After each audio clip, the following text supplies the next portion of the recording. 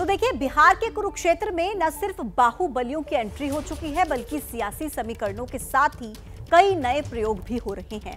मसलन नब्बे के दशक में लालू यादव ने एम वाई समीकरण तैयार किया। भूरा बाल वाली जो पॉलिटिक्स है अप्रोच के ज़रिए सत्ता की सीढ़ी तैयार की। लेकिन अब लालू के लाल Tejashwi Yadav A to Z फॉर्मूले पर आगे बढ़ रहे हैं।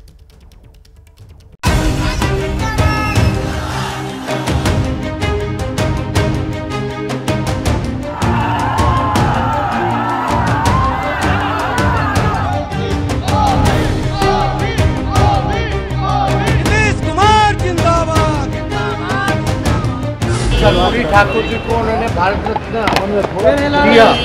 लेकिन उन्हीं के विचारों को वो विरोध कर रहे हैं। संविधान और आरक्षण उनको सिर्फ़ चुनाव में याद आता कभी याद नहीं आता। जो लोग संविधान की बात करते हैं किस तरीके का पाखंड रचते हैं ये लोग? क्या कर रहे हैं ये बाबा साहब की मूर्ति? आई के साथ साथ हम लोग बाप की भी पार्टी है। बी से बहुजन ए से आपका हो गया अगड़ा दूसरा ए से हो गया आधी आबादी जो महिलाओं की है, और पी से पुअर यानी बी ए ए पी ये बाप।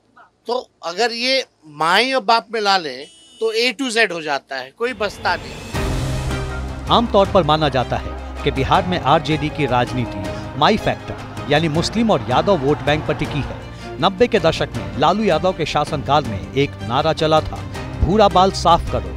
यानी भूमिहार, राजपूत, ब्राह्मण और लाला यानी कायस्थ के खिलाफ राजनीतिक धारा को हवा देने वाला पॉलिटिकल अप्रोच बीते वक्त में आरजेडी की राजनीति इसी के इर्द गिर्द विस्तार लेती दिखी, लेकिन इस चुनाव में तेजस्वी यादव ने आरजेडी की राजनीति का दायरा माई फैक्टर से कहीं आगे तक बढ़ा दिया है। मौजूदा चुनाव में Tejashwi Yadav A to Z का नारा दे रहे हैं, जिसकी पहली झलक आरजेडी के उम्मीदवारों की लिस्ट के रूप में नज़र आई। बिहार में आरजेडी तेईस सीटों पर चुनाव लड़ रही है। इनमें से आठ उम्मीदवार यादव समाज से हैं। वहीं मधुबनी से अली अशरफ फातिमी और अररिया से शाहनवाज आलम को टिकट मिला है। तीन कुशवाहा, एक बनिया और तीन उम्मीदवार अति पिछड़ा वर्ग से हैं। इसके अलावा एससी वर्ग से दे दी है। प्रधानमंत्री सनातन धर्म के, राष्ट्रपति सनातन धर्म के, तीनों सेना के अध्यक्ष सनातन धर्म के, सब मुख्यमंत्री सनातन धर्म के।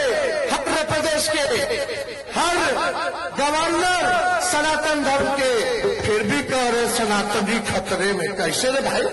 अरे, सब फागलो है। ये लोग समाज को बांट करके राज करना चाहता है।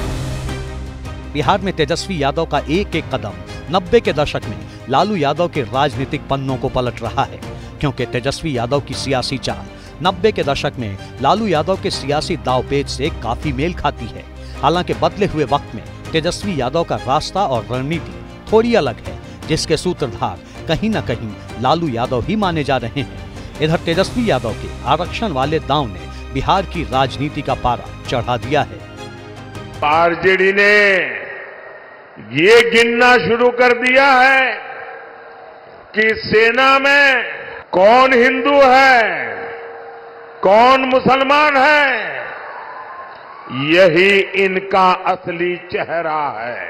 माँ भारती की रक्षा के लिए जो सीने पर गोली खाता है, वो पहले भारतीय होता है। और ये आरजेडी के लोग उसे हिंदू मुसलमान की नज़र से देखते हैं।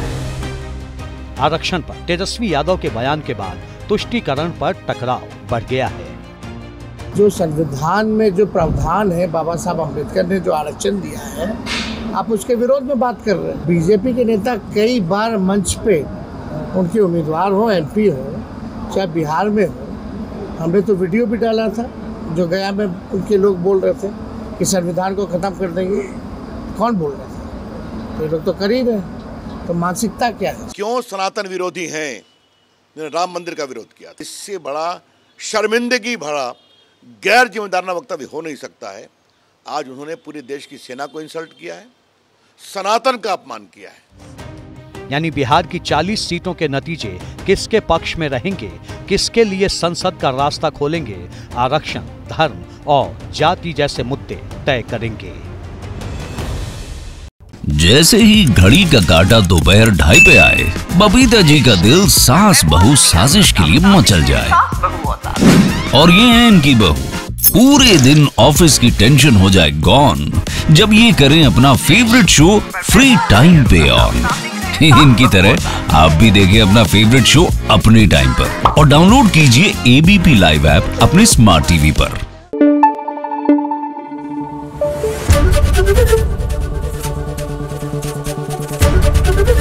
एबीपी न्यूज़ आपको रखे आगे।